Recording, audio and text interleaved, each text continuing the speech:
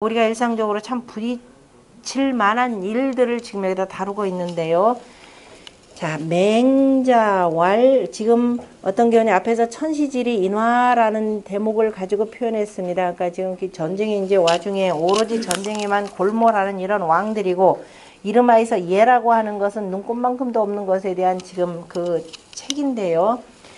어, 맹자가 장차 조왕이러시니 왕을 이때는 조회한다라고 이렇게 보시면 돼요. 왕을 조회하려고 하였더니 왕이 사인내왈 사람을 보내와서 사람을 보내와서 말하기를 과인이 여취 현작러니 자 나아가서 뵈려고 하였더니 그죠 나아가서 뵈려고 하였더니 유한질이라 감기에 들렸는지라 그죠? 감기에 들렸는지라 불가히 풍일세. 그래서 가히 바람을 쐴 수가 없기 때문에 의사가 지금 나더러 바람 쐬면은 다 악화되니까 그냥 가만히 계시오라고 해서 내가 바람을 쐴수 없기 때문에 조장시조하리니.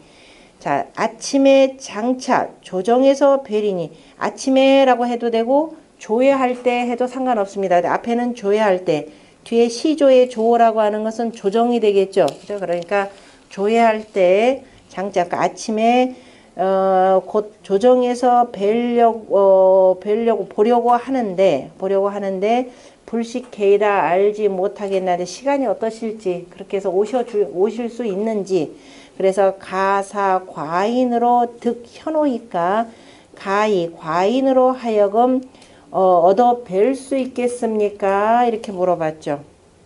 지금 앞에서 지금 단서가 뭐냐 맹자가 장조왕이라 그랬습니다. 맹자가 지금 아침에 왕을 지금 조회하려고 했다라고 하는데요.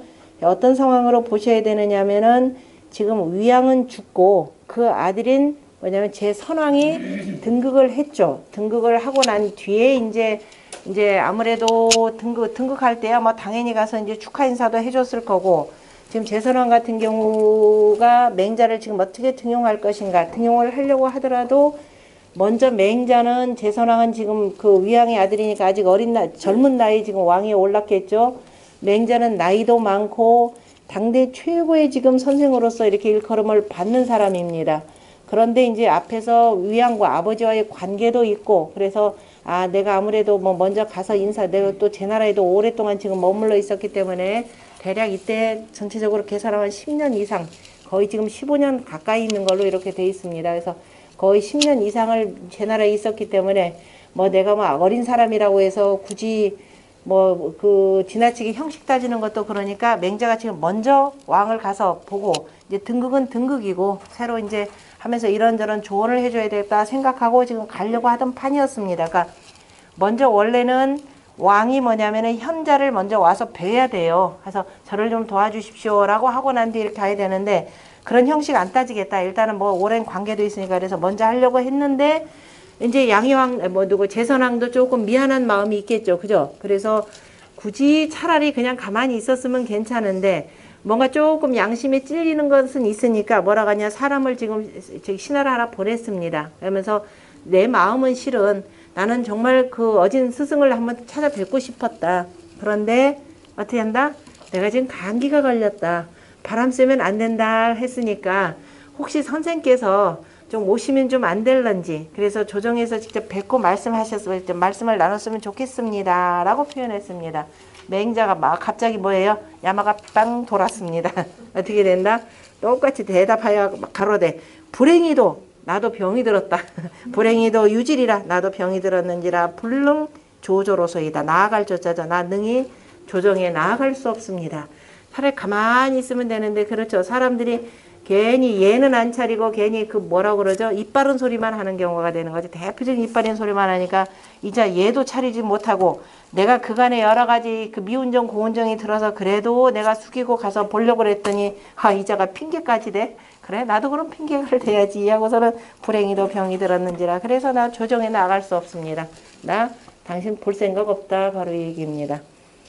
그리고 나서는 명일의 다음 날에 출조어 동곽시라니 저 동쪽 지역에 있는 아마 곽시라고 하는 동곽 동곽 쪽에 있는 어떤 사람이 있어 그 이름이 이제 지역명 따가지고 동곽시라 그랬겠죠.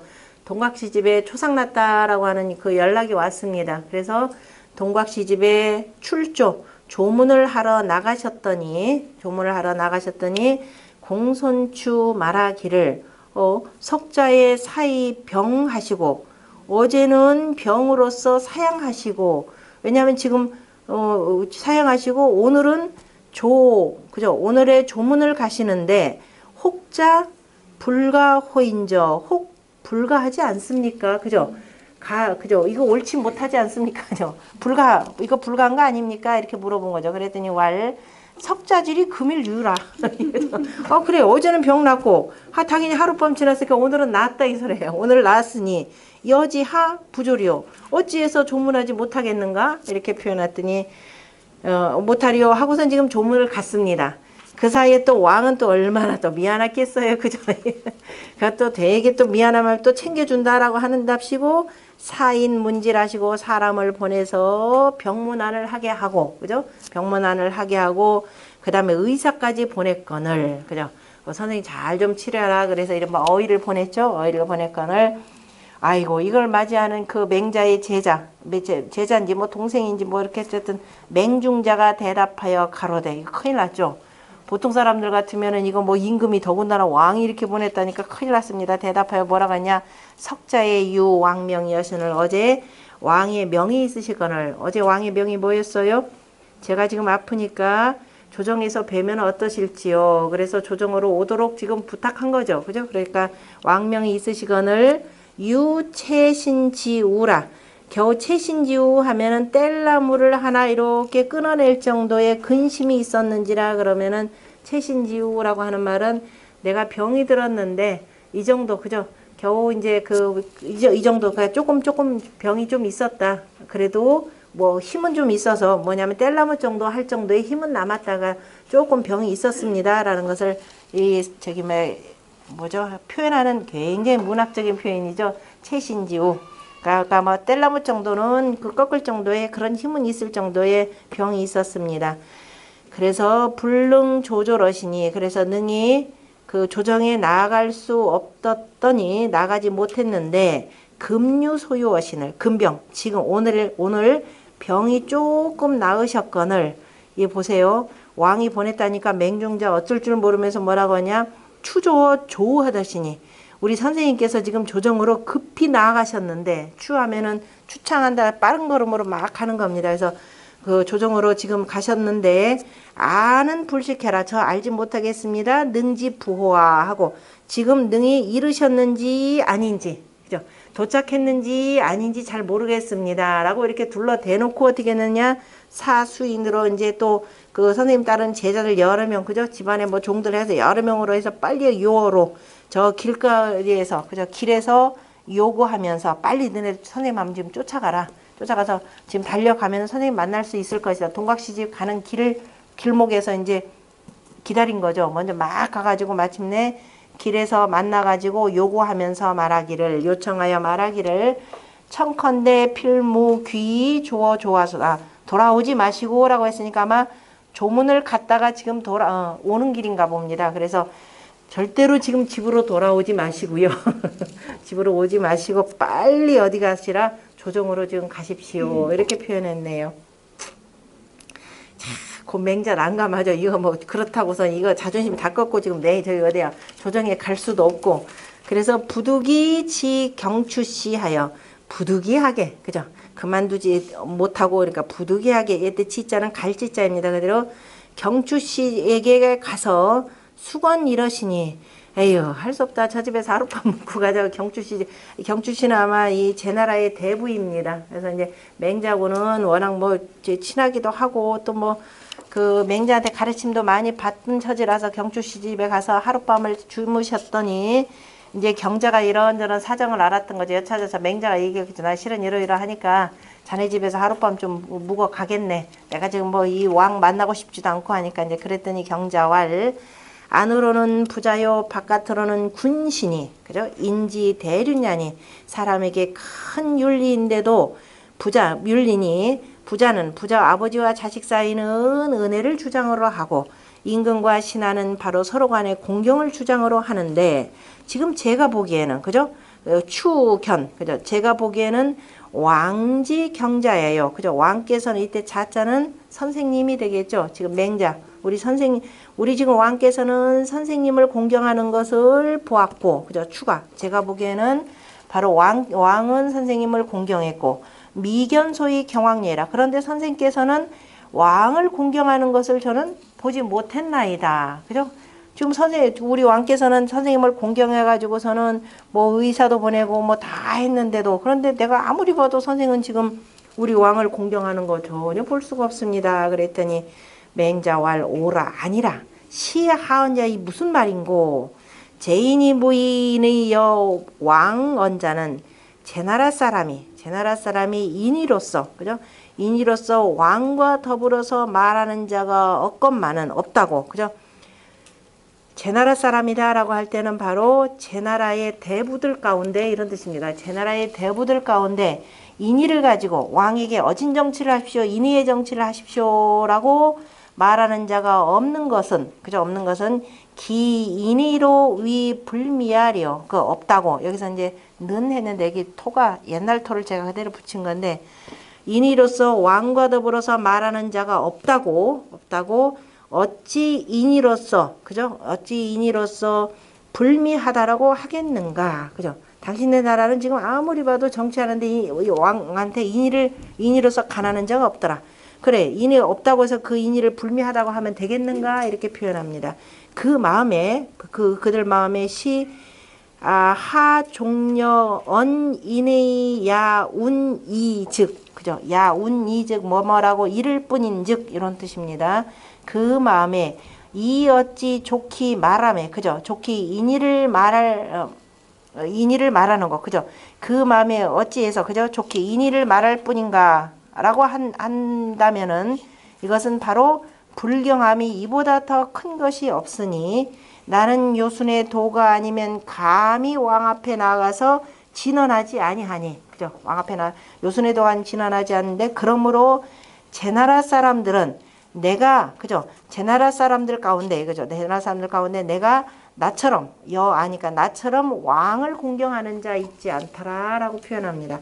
당신네 나라 사람들은 왕한테 가서 아부나 하고 왕한테 듣기 좋은 소리나 하지 인의로서 가는 사람은 하나도 없더라. 그래 그래 인의로서 하지 않는다. 그러면 인의를 저기 뭐야 불미스럽게 여길 것이냐? 바로 얘기 얘기를 하는 겁니다. 그러니까 바로 자, 이 인의를 가지고서는 얘기한다는 것 자체가 그죠? 이 이것만 가지고 족하다라고 그 마음에 에이 인의 가지고 얘기하는 게 뭐 대수야? 라고 하는 것은 이것은 바로 불경스러운 짓이고 세상에 불경스러움이 이보다 더 큰 것이 없더라. 앞에서 뭐냐면은 에이 우리 임금은 인하지 못해 능력 없어 이런 걸 뭐라 그랬죠? 임금을 해치는 자라 이렇게 표현했죠. 적기군 자라 이렇게 표현했던 겁니다. 나는 절대로 인이, 인이 아니면은 왕한테 가서 얘기하지 않는다. 그죠? 나는 요순의도가 아니면은 왕 앞에 나가서 진언하지 않는다. 그러니까 제 나라 사람들 너네를 다 데려와 봐라. 나만큼 임금 공경하는 자 누가 있느냐 이렇게 지금 표현하는 겁니다. 예, 지금 예에 대한 문제죠. 임금이 명한다고 해서 무조건 가는 것이 옳으냐 아니냐 뭐 지금 어떤 어떤 신하가 더 훌륭하냐 아니냐 요 얘긴데요. 그 다음에 이 맹자가 임금과 관련해 임금의 그 명에 대해서 어찌 보면 거부한 내용이죠. 맹자는 충분히 거부할 수 있는 것이 맹자는 지금 여기에서 구체적인 관직을 갖고 있는 사람은 아닙니다. 그죠? 이거는 내가 하고 싶은 대로 하면 돼요. 그러나 만약에 내가 관직에 있는 사람으로서 만약에 임금이 부른다. 근데 안 갔다. 이건 어떻게 되겠어요? 이거는 제각 처벌당해요. 그죠? 잘못하면 이제 죽음도 그 감수를 해야 되는 상황인데 이를테면은 이 지금 이런 맹자의 경우는 누구하고 같은 경우냐면 이른바 양후가 논에 나오죠. 양, 양화편에 나오는 내용이죠. 양후가 이른바 이제 개시의 땅에서 배반할 아, 개시의 땅을 자기가 점거를 하고 그 지역에 재상이 되는 거죠. 그 지역에 이제 통치권자가 돼가지고 그래도 당대 유명한 공자를 불러서 자기 이제 정치적 자문을 구하고 싶었던 거죠. 근데 이제 공자가 틀림없이 자기 부름에 응하지 않을 것 같으니까 어떻게 했냐면 공자가 없는 틈을 타가지고서는 돼지 한 마리 삶아가지고 갔죠. 그럼 옛날에 이제 예라는 것이 패백을 가지고 그 집을 직접 주인이 찾아가는데 주인이 받으면은 괜찮은데 주인이 없으면 어떻게 돼요? 그 그 집 주인이 다시 패백을 갖고 상대방 집을 방문을 해야 됩니다. 그러니까 당시 예법이기 때문에 이 양화가 이걸 잘 알고 공자는 예를 중시하는 사람이니까 틀림없이 그죠? 다시 자기 집을 찾아올까라는 걸 알았어요. 그러니까 공자도 머리를 쓴 거죠. 자, 양화가 집에 있느냐 없느냐고 제자들한테 미리 사전에 염탐 다 시켰습니다. 언제쯤 들어올 것이라는 걸 알고서는 가서 그리고 없는 시간에 맞춰가지고 패백 들고 가요. 그런데 공교롭게도 길거리에서 만났죠. 어, 공교롭게도 어쨌든 만났는데 바로 그 같은 그 지금 내용입니다. 그 양화의 청에 대해서 그리고 이제 양화가 아 세월이 당신을 기다려주지 않는다. 내가 초청할 때 얼른 와서 정치를 하라 그랬을 때 어떻게 됐던가요? 공자가 알았다라고만 하고 더 이상 말 섞지 않고 그냥 나왔습니다. 지금 그 상황하고 좀 비슷하다라고 보시면 돼요. 그때